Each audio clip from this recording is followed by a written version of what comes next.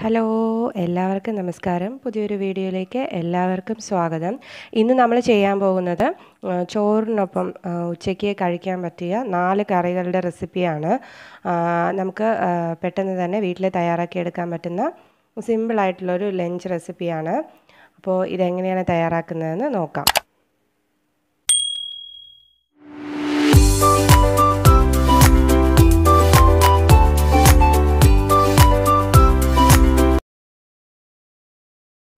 നമ്മൾ ആദ്യമായിട്ട് തയ്യാറാക്കാൻ പോകുന്നത് ബീട്രൂട്ട് വെച്ചിട്ടുള്ളൊരു കിച്ചടിയാണ്. ഇതെങ്ങനെയാണെന്ന് നോക്കാം. ഇതിനായിട്ട് ഒരു മീഡിയം സൈസ് ബീട്രൂട്ടിനെ നമ്മൾ ചെറിയ കഷ്ണങ്ങളായിട്ട് മുറിച്ചിട്ട് വേവിച്ചെടുക്കണം. കുറച്ച് വെള്ളവും കൂടെ ചേർത്തിട്ടാണ് വേവിച്ചെടുക്കുന്നത്. അതിൽ ആവശ്യത്തിന് ഉപ്പ് കൂടി ചേർത്ത് കൊടുക്കണം. എന്നിട്ട് നന്നായിട്ട് അടച്ച് വെച്ച് ഒരു അഞ്ച് മിനിറ്റ് നേരം മതിയാവും വേവിച്ചെടുക്കുക. ഇപ്പോൾ ബീട്രൂട്ടൊക്കെ വെന്ത് വന്നിട്ടുണ്ട്. ഇനി ഇത് നമുക്ക് മാറ്റി വയ്ക്കാം ഇനി ഒരു മിക്സിയുടെ ജാറിലേക്ക് മൂന്ന് ടേബിൾ സ്പൂൺ തേങ്ങ ചേർത്ത് കൊടുക്കുക.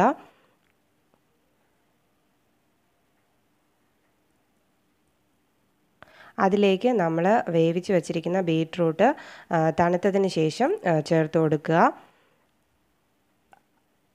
ഒരു കാൽ ടീസ്പൂൺ ജീരകം പിന്നെ ഒരു ചെറിയ പച്ചമുളക് ചെറുതായിട്ട് അരിഞ്ഞത് കൂടി ചേർത്ത് അരച്ചെടുക്കണം.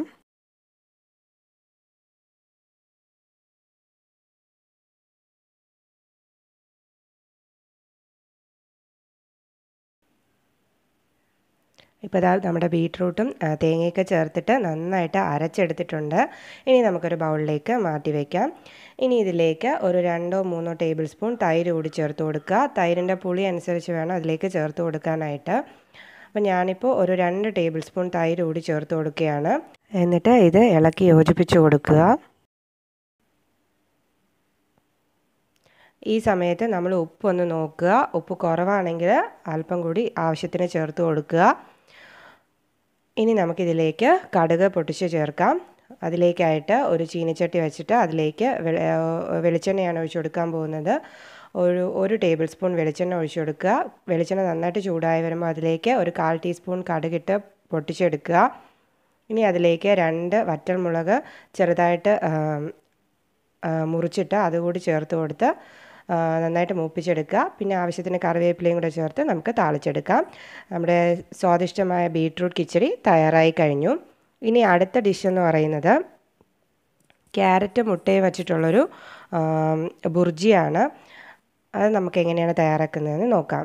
അതിലേക്കായിട്ട് ഒരു പാൻ അടുപ്പത്ത് വെച്ചിട്ട് അതിലേക്ക് ഒരു രണ്ട് ടേബിൾ സ്പൂൺ വെളിച്ചെണ്ണ ചേർത്ത് കൊടുക്കുക. ആവശ്യത്തിന് കറിവേപ്പില കൂടെ ചേർത്ത് കൊടുക്കുക. അതിന്റെ കറിവേപ്പില നന്നായിട്ട് റോസ്റ്റായി വരുമ്പോൾ അതിലേക്ക് നമ്മൾ ഒരു പകുതി സവോളയും ഒരു ചെറിയ കഷ്ണം ക്യാരറ്റും ചോപ്പ് ചെയ്തത് ചേർത്ത് കൊടുക്കുക. നിങ്ങൾക്ക് ഏത് പച്ചക്കറികൾ വേണമെങ്കിലും ചേർത്ത് കൊടുക്കാവുന്നതാണ്. ആവശ്യത്തിന് ഉപ്പ് കൂടി ചേർത്ത് കൊടുത്ത് മിക്സ് ചെയ്തെടുക്കുക. ഒരുപാട് വഴറ്റേണ്ട ആവശ്യമൊന്നുമില്ല. ക്യാരറ്റിന്റെയും ഉള്ളിയുടെയും ഒരു പച്ചമണം മാറി ചെറുതായിട്ട് വാടി വരുമ്പോൾ അതിലേക്ക് നമുക്ക് ഒരു മുട്ട ചേർത്ത് കൊടുക്കാം. പച്ചക്കറികളൊക്കെ കഴിക്കാൻ മടിയുള്ള കുട്ടികൾക്ക് ഇതുപോലെ ചെയ്തു കൊടുത്താൽ അവർ വളരെ എളുപ്പത്തിൽ കഴിക്കാൻ അവർക്ക് വളരെ ഇഷ്ടപ്പെടും. ഇനി മുട്ട ഇതിന്റെ കൂടി മിക്സ് ചെയ്തെടുക്കാം. നമുക്ക് വളരെ എളുപ്പത്തിൽ തയ്യാറാക്കിയെടുക്കാൻ പറ്റുന്ന ഒരു ഡിഷാണിത്. ഒരു മൂന്ന് മിനിറ്റ് നേരം മതിയാകും ഇത്രയും തയ്യാറാക്കിയെടുക്കാൻ വേണ്ടിയിട്ട്. നിങ്ങൾക്ക് ഉപ്പ് കുറവാണെന്ന് തോന്നുവാണെങ്കിൽ അല്പം ഉപ്പ് കൂടി ചേർത്ത് കൊടുക്കാവുന്നതാണ്.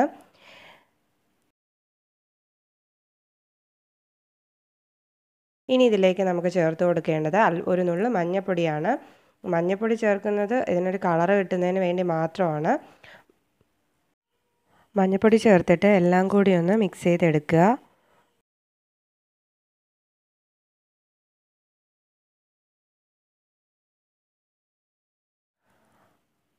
മുട്ട നന്നായിട്ട് ഇതുമായിട്ട് മിക്സായി കഴിഞ്ഞു.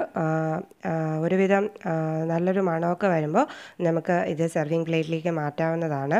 മുട്ട വേവുന്ന സമയം മാത്രമേ ഇതിന് ആവശ്യമായിട്ട് വരുന്നുള്ളൂ. അപ്പോൾ നമുക്കിനി ഇതൊരു സെർവിങ് പ്ലേറ്റിലേക്ക് മാറ്റി വയ്ക്കാം. അങ്ങനെ നമ്മുടെ ക്യാരറ്റ് എഗ് ബുർജി തയ്യാറായിട്ടുണ്ട്. ഇനി അടുത്തത് നമ്മൾ തയ്യാറാക്കാൻ പോകുന്നത് തക്കാളിയും പരിപ്പും കൂടി ചേർത്തിട്ടുള്ളൊരു ദാൽ കറിയാണ്. ഇതിന് വേണ്ടിയിട്ട് ഞാനൊരു ചെറിയ ഗ്ലാസ് സാമ്പാർ പരിപ്പാണ് എടുത്തിരിക്കുന്നത്. അതൊന്ന് കഴുകിയെടുക്കാം. നമുക്ക് വെള്ളത്തിൽ കുതിർത്ത് വയ്ക്കേണ്ട ആവശ്യമൊന്നുമില്ല. നന്നായിട്ട് ഇത് കഴുകിയെടുത്താൽ മതിയാകും. ഇനി നമുക്കൊരു കുക്കർ അടുപ്പത്ത് വെച്ചിട്ട് അതിലേക്ക് ഈ കഴുകി വെച്ചിരിക്കുന്ന സാമ്പാർ പരിപ്പ് ചേർത്ത് കൊടുക്കാം. അല്ലെങ്കിൽ തുവരപ്പരിപ്പെന്ന് പറയും. അത് ചേർത്ത് കൊടുക്കുക. ഇനി അതിലേക്ക് നമ്മൾ ഏത് അളവിലാണോ പരിപ്പ് എടുത്തേക്കുന്നത് അതിന്റെ ഇരട്ടി വെള്ളം ചേർത്ത് കൊടുക്കുക. ഞാനിപ്പോൾ ഒരു ഗ്ലാസ് പരിപ്പിന് രണ്ട് ഗ്ലാസ് വെള്ളമാണ് ചേർത്ത് കൊടുക്കുന്നത്. എന്നിട്ട് ആവശ്യത്തിന് ഉപ്പ് ചേർത്തിട്ട് അതിലേക്ക് നമ്മൾ അല്പം എണ്ണ കൂടി ഒഴിച്ചു കൊടുക്കുക. എണ്ണ ഒഴിക്കുന്നത് നമ്മൾ കുക്കർ അടച്ചു വെച്ച് വേവിക്കുമ്പോൾ അതിൽ നിന്ന് ഒരുപാട് ചീറ്റി പുറത്തേക്ക് കളയാതിരിക്കുന്നതിന് വേണ്ടിയിട്ടാണ് അത് എണ്ണ ചേർക്കുന്നത്. നമുക്ക് ഏതെങ്കിലും വെജിറ്റബിൾ ഓയിൽ ചേർത്താൽ മതിയാകും. ഇല്ലെങ്കിൽ അല്പം നെയ്യോ വെണ്ണയോ ചേർത്താലും മതിയാകും. എന്നിട്ട് കുക്കർ അടച്ചു വെച്ചിട്ട് മീഡിയം ഫ്ലെയിമിൽ രണ്ട് വിസിൽ വരുന്നത് വരെ നമുക്കിത് വേവിക്കാം. രണ്ട് വിസിൽ വരുമ്പോഴത്തേക്ക് നമുക്ക് തീ ഓഫ് ചെയ്ത് മാറ്റി വയ്ക്കാം എന്നിട്ട് പ്രഷർ മുഴുവൻ മാറുന്നത് വരെ വെയിറ്റ് ചെയ്യാം. ഈ സമയത്ത് നമുക്ക് വെണ്ടയ്ക്ക കൊണ്ടുള്ളൊരു ഫ്രൈ തയ്യാറാക്കിയെടുക്കാം ഇതിലേക്ക് വേണ്ടിയിട്ട് ഞാൻ രണ്ട് ടേബിൾ സ്പൂൺ വെളിച്ചെണ്ണയാണ് ഒഴിച്ചു കൊടുക്കുന്നത്. അതിലേക്ക് നമുക്ക് ഒരു കാൽ ടീസ്പൂൺ കടുക് ചേർത്ത് പൊട്ടിച്ചെടുക്കുക. ഇനി ഇതിലേക്ക് രണ്ട് വറ്റൽമുളക് ചേർത്ത് കൊടുക്കുക. ആവശ്യത്തിന് കറിവേപ്പില കൂടെ ചേർത്ത് കൊടുത്ത് ചേർത്ത് കൊടുത്ത് നമുക്ക് മൂപ്പിച്ചെടുക്കാം. ഇനി ഇതിലേക്ക് ചേർക്കാൻ പോകുന്നത് ഒരു സവോളയുടെ പകുതി അരിഞ്ഞെടുത്തതാണ്. ഇത് ഇതിലേക്ക് ചേർത്ത് കൊടുത്ത് വഴറ്റിയെടുക്കാം. സവോള ചേർത്ത് കൊടുത്തതിന് ശേഷം ആവശ്യത്തിന് ഉപ്പ് കൂടി ചേർത്ത് നന്നായിട്ട് വഴറ്റിയെടുക്കണം.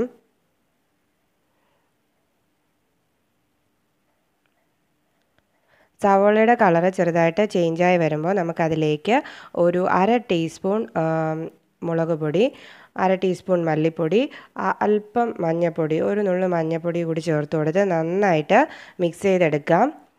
ഈ പൊടികളുടെയൊക്കെ പച്ചമണം മാറുന്നത് വരെ റോസ്റ്റ് ചെയ്തെടുക്കണം.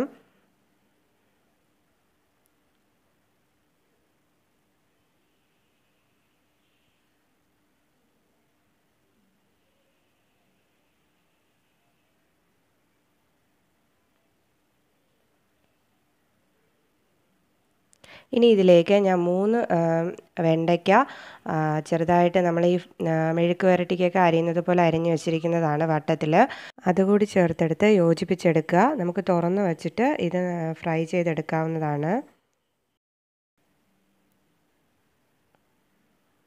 ഇപ്പോൾ ഇതാ നമ്മുടെ വെണ്ടയ്ക്ക മസാല ഫ്രൈ തയ്യാറായിട്ടുണ്ട്. നല്ല ടേസ്റ്റി ആയിട്ടുള്ള ഒരു ഫ്രൈ ആണിത്. എല്ലാവരും ഇതൊന്ന് ട്രൈ ചെയ്ത് നോക്കണം. എല്ലാവർക്കും ഇഷ്ടപ്പെടും.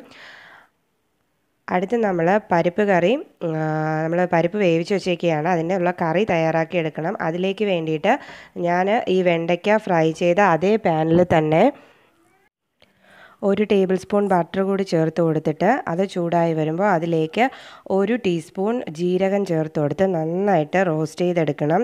ആ ജീരകത്തും ജീരകം നമ്മുടെ വെണ്ണയിൽ കിടന്നിട്ട് നന്നായിട്ട് റോസ്റ്റായ ഒരു സ്മെല്ല് വരുമ്പോൾ അതിലേക്ക് ഒരു മീഡിയം സൈസ് സവോള ചെറുതായിട്ട് അരിഞ്ഞത് കൂടി ചേർത്ത് കൊടുത്ത് വഴറ്റിയെടുക്കണം. ഈ വെണ്ണ ചേർത്ത് ഈ കറി ഉണ്ടാക്കുമ്പോൾ നമുക്കൊരു പ്രത്യേക ടേസ്റ്റ് ആയിരിക്കും ഈ കറിക്ക്. നിങ്ങൾക്ക് വേണമെങ്കിൽ ഏത് വെജിറ്റബിൾ ഓയിൽ വേണമെങ്കിലും ഉപയോഗിക്കാം. ഇനി നമ്മുടെ സവോള ചെറുതായിട്ട് അതിന്റെ പച്ചമണം മാറിക്കഴിയുമ്പോൾ അതിലേക്ക് ഒരു ചെറിയ തക്കാളി ചെറുതായിട്ട് ചോപ്പ് ചെയ്തത് കൂടി ചേർത്ത് കൊടുത്ത് വഴറ്റിയെടുക്കാം.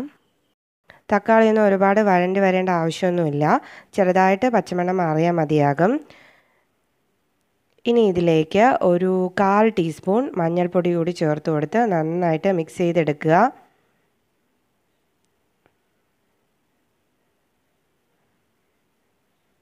ഈ മഞ്ഞൾപ്പൊടിയുടെയും പച്ചമണമൊക്കെ മാറി വരുമ്പോൾ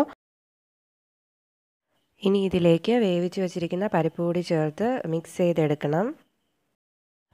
ഇപ്പോൾ ഇതാ പരിപ്പിന്റെ വെള്ളമൊക്കെ പോയിട്ട് വെന്ത് വന്നിട്ടുണ്ട്. ഇനി ഇത് ഈ ഉള്ളിയുടെയും തക്കാളിയുടെയും കൂട്ടുമായിട്ട് മിക്സ് ചെയ്ത് കൊടുക്കുക. ഇനി ഇതിലേക്ക് ഞാൻ ഒരു ഗ്ലാസ് ചൂടുവെള്ളം ചെറു ചൂടുവെള്ളമാണ് ചേർത്ത് കൊടുക്കുന്നത്. നിങ്ങൾക്ക് ഈ കറിയുടെ കൺസിസ്റ്റൻസി അനുസരിച്ച് വെള്ളം കൂട്ടുകയോ കുറയ്ക്കുകയോ ചെയ്യാവുന്നതാണ്. എന്നിട്ട് നന്നായിട്ട് ഇളക്കി യോജിപ്പിച്ച് കൊടുക്കുക. എന്നിട്ട് ഉപ്പ് ഈ സമയത്തൊന്ന് ചെക്ക് ചെയ്ത് നോക്കുക. നമ്മൾ പരിപ്പ് വേവിച്ചപ്പോഴും ഉപ്പ് ചേർത്തിട്ടുണ്ട്. സവോള വഴറ്റിയപ്പോഴും ഉപ്പ് ചേർത്തിട്ടുണ്ട്. കൂടുതലാണോ കുറവാണോ എന്ന് ഒന്ന് ചെക്ക് ചെയ്ത് നോക്കുക. ഇളക്കി യോജിപ്പിച്ച് അത് തിളയ്ക്കാൻ വേണ്ടിയിട്ട് അനുവദിക്കുക. തിളച്ച് വന്നിട്ടുണ്ട്. ഇനി ഇതിലേക്ക് നമുക്ക് അരിഞ്ഞു വെച്ചിരിക്കുന്ന മല്ലിയില കൂടി ചേർത്ത് കൊടുക്കാം. ഇനി ഒരുപാട് നേരം ഇത് തിളയ്ക്കേണ്ട ആവശ്യമില്ല. കാരണം എങ്കിൽ കറി ഇരുന്നിട്ട് ഒരു കുറുകി വരും. നമുക്കിനി ഇതൊരു സെർവിങ് പ്ലേറ്റിലേക്ക് മാറ്റി വയ്ക്കാം ഇനി ഇതിലേക്ക് ഒരു ചെറിയ കഷ്ണം ബട്ടറും ചേർത്ത് നമുക്കിത് സെർവ് ചെയ്യാവുന്നതാണ്. വളരെ ടേസ്റ്റി ആയിട്ടുള്ളൊരു കറിയാണ്. അപ്പോൾ ഈ വീഡിയോ എല്ലാവർക്കും ഇഷ്ടമായെന്ന് വിശ്വസിക്കുന്നു. വീഡിയോ ഇഷ്ടമായ ലൈക്ക് ചെയ്യാനും ഷെയർ ചെയ്യാനും കമന്റ് ചെയ്യാനും മറക്കരുത്. Channel subscribe ചെയ്തിട്ടില്ലാത്തവർ please subscribe the channel thank for watching